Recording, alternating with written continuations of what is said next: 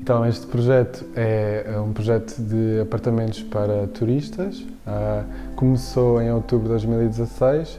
Um, houve uma oportunidade de investir num prédio que estava devoluto e, uh, a partir daí,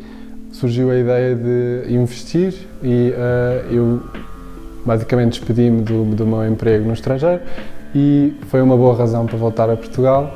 e para estar em Lisboa, que é a minha cidade, e começar um projeto de raiz. Dar uma atmosfera diferente nos apartamentos, cada um tem uma atmosfera diferente. Por exemplo, este onde nós estamos tem um, um tema náutico, dos descobrimentos, do mar. Temos outros que são mais são apartamentos mais pequeninos, mais confortáveis uh, e a, nossa ideia é também não usar uma decoração muito standard e tentar dar pormenores do velho, do antigo, peças portuguesas e tentar diferenciar o nosso negócio a partir daí. O financiamento deste projeto foi faseado, começou por ser a parte da remodelação de todo o prédio, que é um prédio muito antigo, e essa parte foi uh, um financiamento familiar. Depois a parte da remodelação, digamos, da, da mobília, da preparação de todos os apartamentos interiores, foi, foi parte das minhas poupanças e a partir daí consegui alavancar para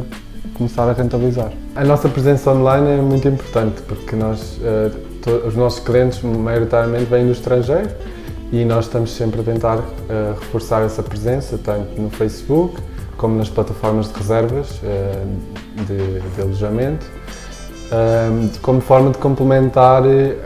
as reservas diretas que são feitas por conhecidos, por pessoas que nos recomendam, mas a presença online é muito importante e o nosso site também nos traz muitas reservas. Uh, nós temos um produto que os clientes gostam muito, os estrangeiros gostam principalmente, que é a internet móvel. É, é um produto que é inovador, que eu já percebi em muitos países não existe. Uh, basicamente é um dispositivo de internet Wi-Fi que eles podem levar enquanto estão a visitar na cidade, a cidade e não têm que usar nem dados, nem roaming, portanto é uma vantagem que nós temos, é uma coisa inovadora que nós podemos oferecer aos clientes.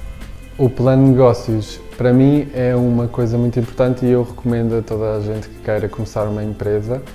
a fazer um plano bom à partida de quais é que vão ser os vossos custos, quais é que vão ser os vossos rendimentos, porque à partida pode parecer que o negócio é muito lucrativo, mas se não tiver em consideração a curto, médio e longo prazo os custos que têm, pode não correr tão bem ou podem não maximizar o investimento que têm. Portanto, eu acho que é muito importante fazer, e eu falo por experiência própria, se eu soubesse, faria um plano de negócios mais estruturado.